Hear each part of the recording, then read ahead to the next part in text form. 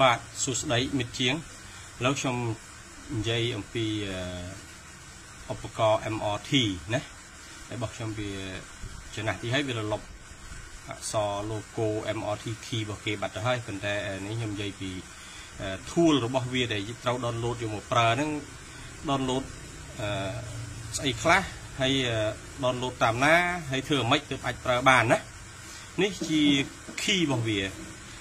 ឧបករណ៍នេះបើយើងអត់ដោតចិត្តកុំព្យូទ័រយើងទេ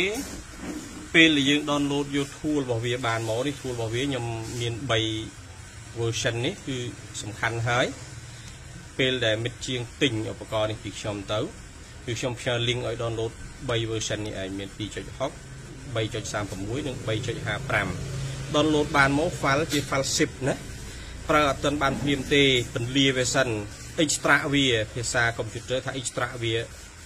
ឲ្យវាមកជារាយរាយសិនទើបបានអាចប្រើវាបានអញ្ចឹង download យកទាំង3មកព្រោះក្នុងទាំង3នេះគឺវាមានមុខងារសំខាន់រៀងរៀងខ្លួន មាន model ចាស់មួយចំនួនហ្នឹងវាដើរជាមួយនឹង version ចាស់នេះដែរអញ្ចឹងសរុបមកថាខ្វះមួយណាក៏មិនបានដែរ download មកណាបើសិនជាខ្វះមួយណាក៏បានដែរនោះខ្ញុំប្រកាសជាអាប់ឡូតតែមួយណាដែលចាំបាច់ជាងគេហ្នឹងប៉ុន្តែវាមិនមែនចោះ វាចាំបាច់ទាំងអស់អញ្ចឹងណាអញ្ចឹង download ទាំង3មកយើងចុច download វាបានមកសង្ឃឹមថាមិត្តជាងធ្លាប់ប្រើកុំព្យូទ័រធ្លាប់ download នេះ download នោះលេងលើកុំព្យូទ័រអញ្ចឹងយើងដឹងហើយណាត្រូវ download យ៉ាងម៉េចពេលដែលខ្ញុំផ្ញើ link ឯកសារនេះទៅគឺយើង download ទៅណាបាទបន្ទាប់ពី download មកបាន3នេះបាន3បែបនេះណាជា file zip file zip file zip ទាំង3 ឥឡូវខ្ញុំឧទាហរណ៍ថាបើខ្ញុំចង់ប្រើ version 2.6អញ្ចឹងយើងពលាវាមកមកស្ដាំលើវាយកពាក្យថា extract all នេះក៏បានឬក៏បើសិនជាយើងនេះយើង install WinZip ណាអឺ 7zip ណាបាទ install 7zip មកហើយយើងពលា extract to version MRT version 2.6ចឹង extract ទៅយើងនឹងបាន folder ថ្មីមួយនៅកន្លែងនេះនេះជា file ដើមដែលយើង download មកជា file zip ណាពេលដែលពលាមកបានបែបនេះអឺ ឥឡូវវាកំពុងតែពលាតិចទៀតវាពលាចប់ខ្ញុំបើកឲ្យមើលនេះណាបាទបើកមកឃើញ tool របស់វានៅនេះបើសិនជាពលាមកហើយបាត់ tool នេះរកអត់ឃើញទេ មានន័យថាកុំព្យូទ័ររបស់យើងនឹងមានកម្មវិធីចាប់មេរោគហើយហើយវាចេះតែច្រឡំថាកម្មវិធីនេះជាមេរោគព្រោះកម្មវិធីនេះកម្មវិធី tool នេះគឺអ្នកខាងក្រៅពី Microsoft គេអ្នកធ្វើដូចថា យើងថាបោះណា Gen ឬក៏បោះ hacker ឬក៏អ្នកប្រាជ្ញខាងក្រៅក្រុមហ៊ុនចឹងណាគាត់ធ្វើមកដល់ពេលចឹងវាចេះតែច្រឡំថាជាមេរោគចឹងហើយចឹងយើងបិទកម្មវិធីចាប់មេរោគទៅយើងពលាម្ដងទៀតមកប្រកាសជាមាន tool នេះឲ្យប្រើហើយណាឥឡូវខ្ញុំអត់ទាន់ដកចូលកុំព្យូទ័រទេមកខ្ញុំបើក tool នេះឲ្យមើលសិនណាបាទ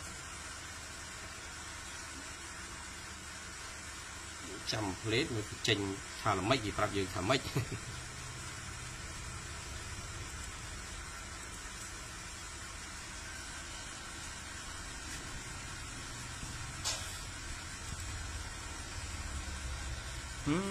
យូរសម្បើមយឺតដល់ហើយនេះគេប្រាប់យើងហើយ MRT key not found វារោ MRT key អត់ឃើញឃើញទេអញ្ចឹងតាមពិតទៅឧបករណ៍នេះវាគ្រាន់តែជាកូនសោដើម្បីឲ្យយើងអាចបើកកម្មវិធីវាបានតែប៉ុណ្ណឹងទេចំណែករឿងប្រើប្រាស់គឺនៅលើកម្មវិធីនេះទាំងអស់ហើយ កុំច្រឡំវាថាវាជា flash សម្រាប់ទុកឯកសារពេលដតទៅមានកម្មវិធីនេះស្រាប់អីគឺមិនមែនទេណា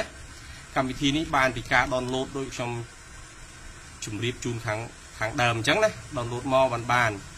ហើយមួយនេះវាជាកូនសដតចូលទៅ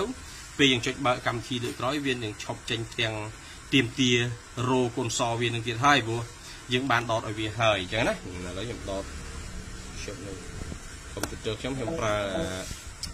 ខ្ញុំប្រើ USB hub អញ្ចឹងដតទៅវាស្គាល់អញ្ចឹងហើយកុំសួរ root driver របស់ MRT MRT ហ្នឹងវាគ្មានត្រូវការ driver try ស្អីនឹងទេអឺ Windows វាស្គាល់ស្រាប់ហើយ Windows 7 Windows 10អីក៏ប្រើបានដែរណាអត់រើស Windows ឬអីទេ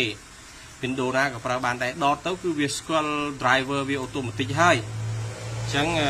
បើយើងដែលយើងត្រូវការ driver គឺត្រូវការតែ driver ពេលដែលយើងបើកកម្មវិធីវាមកធ្វើទូរស័ព្ទហ្នឹងបានយើងត្រូវការ driver វា driver ហ្នឹង driver ទូរស័ព្ទតែបើ MRT key នេះវាគ្មានទា driver ទាអីទេណាឥឡូវខ្ញុំដកចូលហើយខ្ញុំដកចូលហើយឥឡូវខ្ញុំបើកមួយសារទៀតចាំមើលមើលចាំមើលតិចមើលវាចេញមកយ៉ាងម៉េច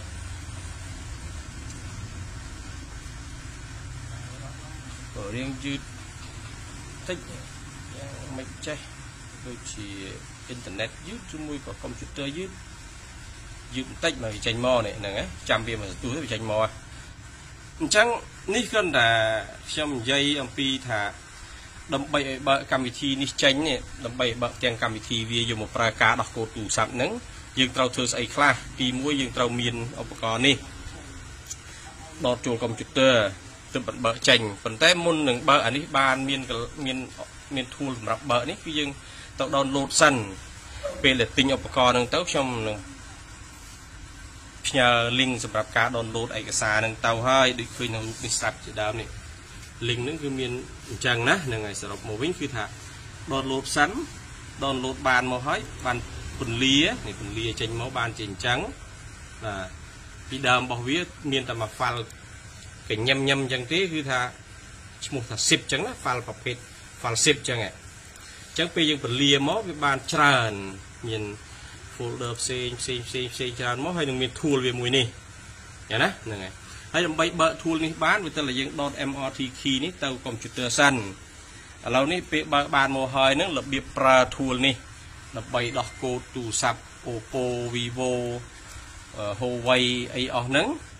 តើយើងប្រើរបៀបម៉េចអាហ្នឹងវានៅមេរៀនផ្សេងផ្សេងបន្តទៅទៀតប៉ុន្តែក្នុងមេរៀនដំបូងនេះគឺ បង្ហាញតែរបៀបថាធ្វើម៉េចឲ្យអាចបើកកម្មវិធីវាបានហ្នឹងហើយ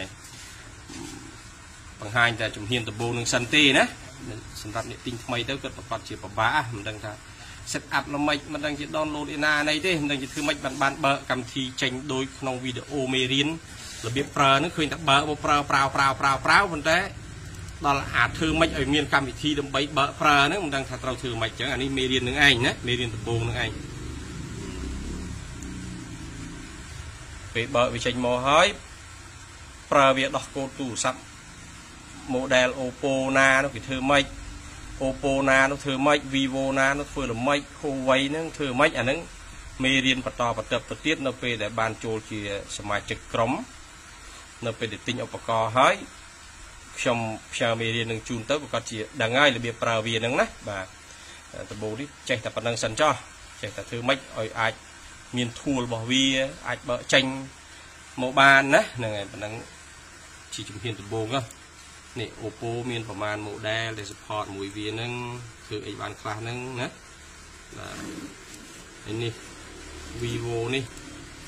មានប្រមាណ model Vivo ដែលអាចធ្វើតាម MRT បានហ្នឹង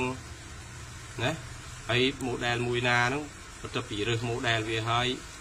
តើត្រូវធីកកន្លែងណាដកធីកកន្លែងណាដាក់ធីកកន្លែងណាត្រូវធ្វើអីហ្នឹងណាបាទគឺមានប្រមាណ